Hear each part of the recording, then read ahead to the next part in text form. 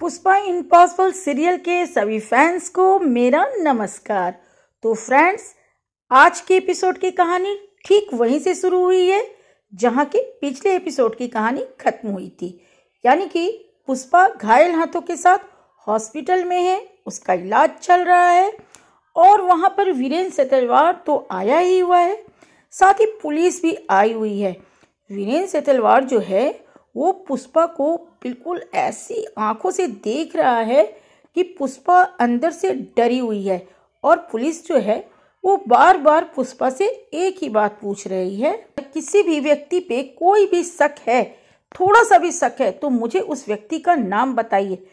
पुष्पा वीरेंद्र से तलवार की ओर देखती है, लेकिन वो पुलिस को बता नहीं पाती है। लेकिन पुलिस पूरी ईमानदारी के साथ कहती है कि पुष्पा बहन, आप हमें थोड़ा सा भी हिंट्स देंगे? तो इससे हमें बड़ी सहूलियत होगी उस व्यक्ति तक पहुँचने के लिए जिसने आपके साथ ये चाल चली है। वो भी उस समय पुष्पा बहन, जबकि उत्सव का माहौल था। जन्माष्टमी का त्यौहार मनाया जा रहा था। नाटिका में देखने के लिए इतने सारे लोग आए हुए थे। तब आपके साथ ये सब कुछ हुआ। लेकिन पुलिस की इन सारी बातों पे पुष्पा लगातार चुप्पी साधे रहती है। जिसे मास्टर जी भी देखकर दुखी होते हैं। और जुगल तो अंदर ही अंदर गुस्सा हो ही रहा है। और इधर वीरेन से तलवार इतना खुश है कि वो तिरछी नज़रों से जुगल को भी देख रहा है और पुष्पा को भी देख रहा है। और आँखों ही आँखों में यह कहने का प्रयास कर रहा है कि मैं क्या चीज़ हूँ, वो तुम लोग खुद समझ रहे हो। आज मेरा डर तुम लोगों के अंदर है जो आज पुलिस के आगे तुम लोग कुछ बोल नहीं पा रहे हो। अब दिल के अंदर चाहे जितना भी ला रखो, मेरे खिलाफ बातें, लेकिन मुँह पर तो नहीं ला पा रहे हो ना। जब पुलिस से पुष्पा कुछ नहीं कह पाती है तो पुलिस उसे कहती है तो फिर पुष्पा बहन जब आपको किसी पर शक ही नहीं है, और आपको लगता है कि स्वाभाविक रूप से ये हादसा हुआ है तो आप इस पेपर पे साइन कर दीजिए, ताकि मैं इस केस को बंद कर सकूँ।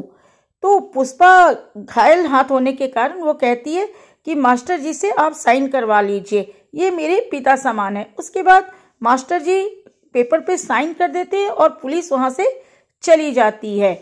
उसके बाद तुरंत डॉक्टर साहब आते हैं तो पुष्पा तड़प के कहती है, डॉक्टर साहब, मुझे यहाँ से जल्दी रिलीज़ कीजिए। मैं वापस मुंबई अपने घर जाना चाहती हूँ। तो डॉक्टर साहब कहते हैं कि, आप मुंबई जा सकती हैं, कब जाना चाहती हैं? तो पुष्पा कहती है, जितनी जल्दी हो सके। तो डॉक्टर साहब कहते हैं, तब तो आप कल भी जा सकती हैं। अब उसके पुष्पा के मुंबई जाने की बात से वीरेंद्र सेतलवार काफ़ी खुश हो जाता है कि चलो, यहाँ का तमाशा तो अब खत्म होगा ना। उसके बाद वो पुष्पा से कहता है, पुष्पा बहन, आप मुंबई जाना चाहती हैं तो मैं ट्रेन से आपके जाने का प्रबंध यहाँ से कर देता हूँ। आपको वहाँ पे लेने के लिए अश्विन आ जाएगा। वही अश्विन, जो top ten company top rank में काम करता है डेवलपमेंट अफसर के पोस्ट पर। या फिर आपका बेटा, दूसरा बेटा चिराग आ जाएगा, जो कि निज स्पॉट में स्केच आर्टिस्ट का काम करता है। या फिर राशि आ जाएगी कि बहुत बड़े कॉलेज में मास कम्युनिकेशन की पढ़ाई कर रही है। अब यहाँ पे पुष्पा हैरान होती है कि उसके बच्चों के बारे में इतनी सारी डिटेल्स इसे कैसे पता है? खैर, फिर भी वो कुछ नहीं बोलती है। तभी मास्टर जी कहते हैं, तुम्हें ये सब कुछ करने की ज़रूरत नहीं है वीरेन। मैं पुष्पा को खुद छोड़ने के लिए बम्बई जाऊँगा। और उसके बाद डॉक्टर साहब कहते हैं, ठीक है, आप इन्हें ले जाइएगा, कल मैं डिस्चार्ज कर दूँगा। और उसके बाद डॉक्टर साहब वहाँ से चले जाते हैं। फिर वीरेन सेतलवार कहता है कि, पुष्पा बहन, अब आप पटोले कैसे बनाओगे हादसा कैसे चलाओगे? मुझे आपके लिए बड़ा ही अफसोस हो रहा है। फिर भी आपको कोई मदद की ज़रूरत हो तो आप मुझसे मदद ले सकती हैं। उसके बाद वीरेंद्र सतेलवार वहाँ से चला जाता है।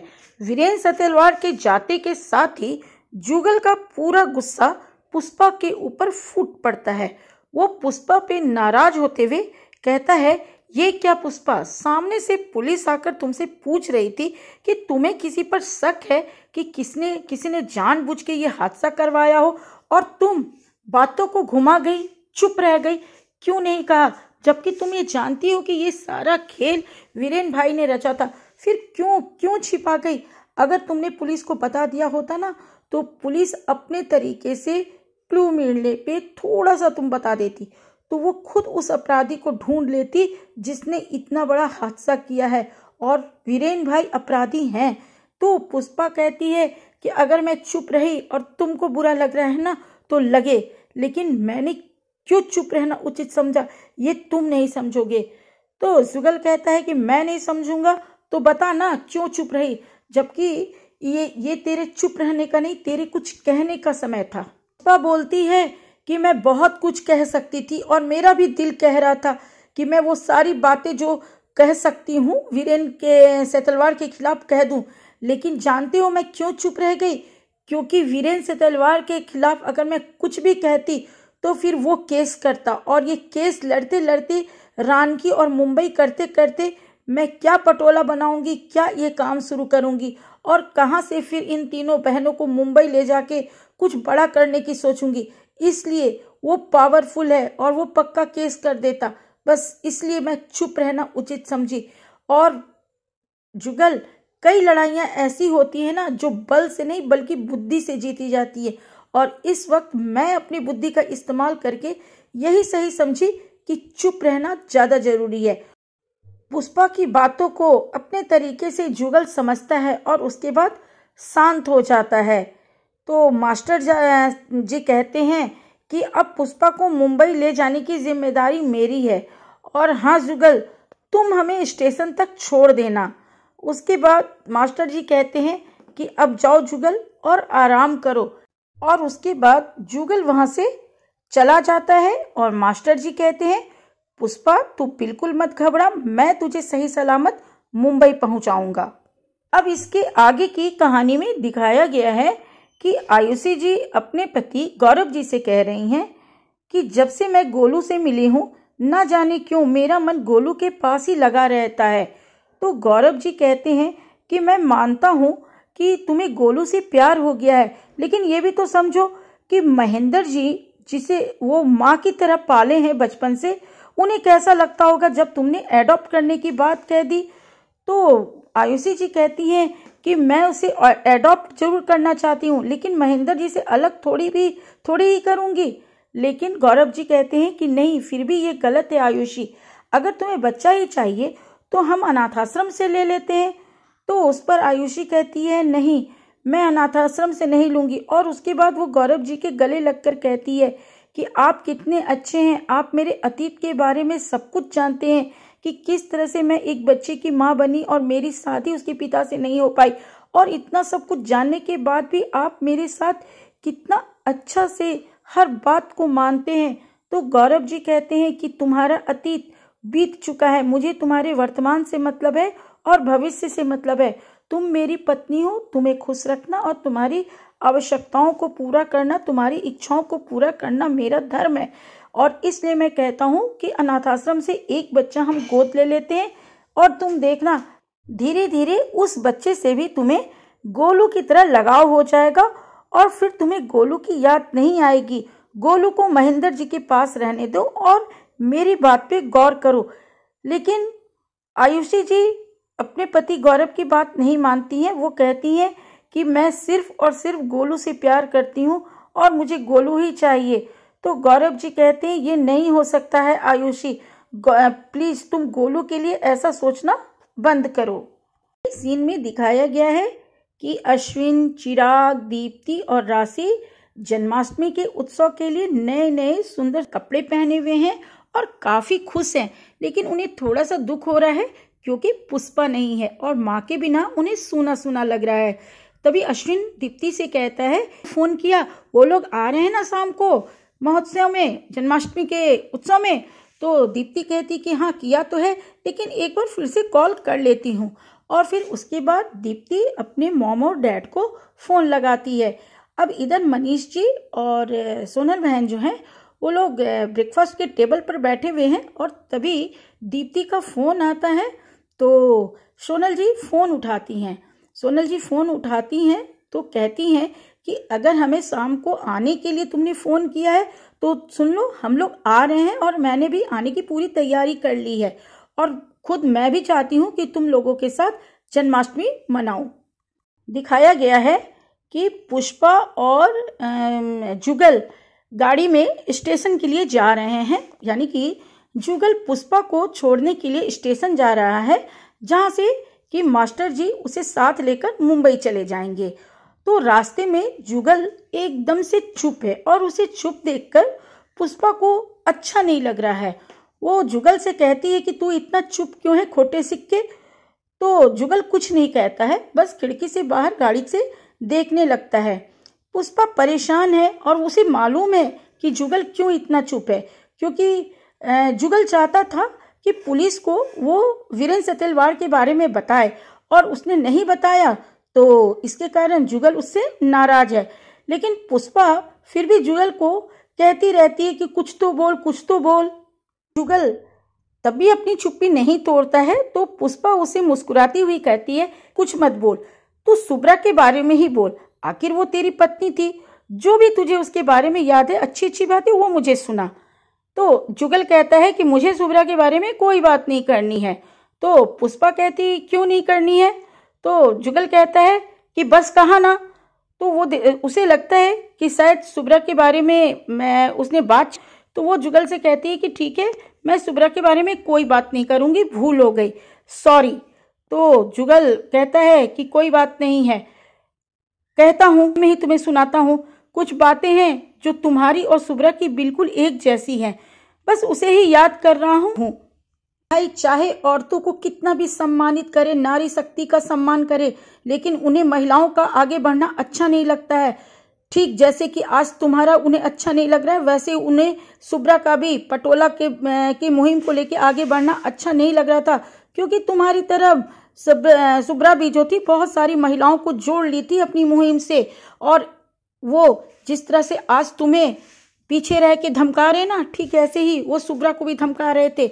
और मैं उनसे जब बहस करने जा रहा था, उनका सामना करने जा रहा था तो सुब्रा ने मेरा हाथ पकड़ लिया था। और ठीक तुम्हारी तरह सुब्रा ने भी मुझसे कहा था कि बल से नहीं, हमें बुद्धि से ये मुहिम को आगे ले जाना है। अगर तुम बल का प्रयोग करोगे तो वीरेन भाई से कभी नहीं जीत पाओगे। लेकिन अगर हम बुद्धि से काम लेंगे तो ज़रूर हम इस मुहिम को सफल बनाएँगे। ना जाने कैसे तुम्हारी और सुब्रा की कहानी एक जैसी होती जा रही है। बस मैंने सुब्रा को खो दिया और ये डर आज तक मेरे मन में है कि वीरेन भाई कुछ ऐसा ना कर बैठे कि बस इसके बाद जुगल चुप हो जाता है। पुष्पा समझ जाती है कि कहीं ना कहीं। जुगल के मन में काफ़ी डर बसा हुआ है। जो कुछ उसने सुब्रा के साथ झेला है, अब वो मेरे साथ नहीं चाहता है। तो वो कहती है कि मैंने दिलीप को झेला है। दिलीप मेरे तीनों बच्चों को मुझसे छीनना चाहता था, पर मैंने उसके साथ अपनी बुद्धि से लड़ाई लड़ी है। और अब सामने वीरेंद्र से तलवार है, उसके साथ भी हम बुद्धि से लड़ेंगे। तो जुगल कहता है, ठीक है, जैसा तू चाहे, तब तक स्टेशन आ जाता है और वो पुष्पा को कुछ बातें समझाने के बाद और पुष्पा उसे कुछ बातें समझाने के बाद वो दोनों गाड़ी से उतरते हैं और पुष्पा स्टेशन की ओर जाती है। अब आगे के दृश्य में दिखाया गया है कि मैं, मम्मी के आने की खुशी में राशि और चिराग काफ़ी खुश हैं और वो दोनों वर्कशॉप को, जो ताना बाना का जो वर्कशॉप है, पटोला बनाने के लिए जो पुष्पा ने वर्कशॉप बनाया है, उसे ठीक ठाक कर रहे हैं। पर राशि थोड़ी उदास है तो चिराग कहता है कि राशि, तू अभी तक उस अजनबी के मैसेज को लेके उदास है? तो राशि कहती है कि, नहीं भाई, जब से अश्विन भाई और दीप्ति भाभी ने पुलिस स्टेशन में रिपोर्ट लिखवाया है, तब से कोई मैसेज नहीं आया है। फिर भी ना चाहते हुए भी ध्यान उधर चला ही जाता है। तभी वहाँ पे सुशीला आती है और खुश होते हुए चिराग से कहती है, चिराग, तूने तो मेरा इतना साथ दिया है ना कि इतना बड़ा उत्सव कभी तेरे काका ने भी नहीं किया था। तो चिराग कहता है कि, काकी, मैं आपका साथ कैसे नहीं देता? और आगे भी, जहाँ कहीं भी आपको मेरे साथ की ज़रूरत होगी, मुझे बेहिचक कहिएगा। मैं हमेशा आपकी सेवा में हाजिर रहूँगा और हर काम करूँगा, जो भी आप चाहेंगे। उसके बाद सुशीला चली जाती है। तो चिराग कहता है कि, देख, काकी को मैंने कैसे अपनी बातों से जीत लिया है। अब बस बापोदरा काका की बारी है। तो राशि कहती है, तू ना बापोदरा काका के भी दिल को जीत लेगा। अब आगे के दृश्य में रानकी गाँव का दिखाया गया है। यानी कि वीरेंद्र सेतलवाड़ के वर्कशॉप में महिलाएँ जो हैं आपस में बातें करती हैं। वो इंदू से पूछती हैं कि, इंदू, तू जब गाँव गई तो पता चला कि तेरा बेटा कुछ खास बीमार नहीं था? तो इंदू कहती है कि हाँ वो तो मेरा बेटा नहीं था उतना बीमार, बस हल्का फुल्का सा बुखार था। पर पता नहीं किसने मुझे फ़ोन पे बात बताई उस दिन और मैं मैं यशोदा का रोल भी नहीं कर पाई। तो वो महिलाएँ जो हैं, वो समझ जाती हैं कि कहीं ना कहीं जुगल और पुष्पा बहन जो बात बोल रही थी, वो बिल्कुल सही है। जुगल ठीक कह रहा था कि इंदू का कोई बेटा उटा बीमार नहीं है। तभी ये महिलाएँ जब वहाँ पे बात कर रही होती हैं तभी वहाँ पे वीरेंद्र सेतलवार आता है और इंदू से कहता है कि जाने दीजिए इंदू बहन, आपका रोल यशोदा का पुष्पा ने निभा दिया। अब देखिए जो घटना पुष्पा के साथ घटी, उसका हाथ घायल हुआ। अगर आप यशोदा का रोल करती तो आपके साथ ये हादसा होता। सोचिए कि ईश्वर ने आपको भाव ये घटना घटाई गई है और हमें मालूम है कि अगर इंदू बहन यशोदा का रोल करती तो ये घटना कभी नहीं घटती। चूँकि पुष्पा बहन ने ये रोल किया यशोदा का और इसलिए इतना बड़ा घटना घटा। तो वीरेंद्र से तलवार कहता है कि आकी चंद्रिका बहन, आप कहना क्या चाहती हैं? तो चंद्रिका कहती है कि, आप जो समझ रहे हैं ना, बस मैं वही कहना चाहती हूँ। उसके बाद चंद्रिका वहाँ से चली जाती है। तो वीरेंद्र से तलवार कहता है कि, मैं बहुत संभलने की ज़रूरत है। ये जो स्वावलंबन की आग पुष्पा सबके अंदर जला के गई है, ये उसी का दिखाई दे रहा है, इतनी ऐठी। वरना ये चंद्रिका कल तक मुझे कुछ नहीं कह पाती थी। उसके बाद वहाँ से बाकी महिलाएँ भी चली जाती हैं और सुनील से वीरेंद्र सतेलवार कहता है कि इन महिलाओं के पंख मत निकलने दो, जितना हो सके इन्हें पुष्पा से दूर करने की कोशिश करो। वरना पुष्पा को मैं जानता हूँ कि वो कहीं पूरी सियासत में आग लगा देगी।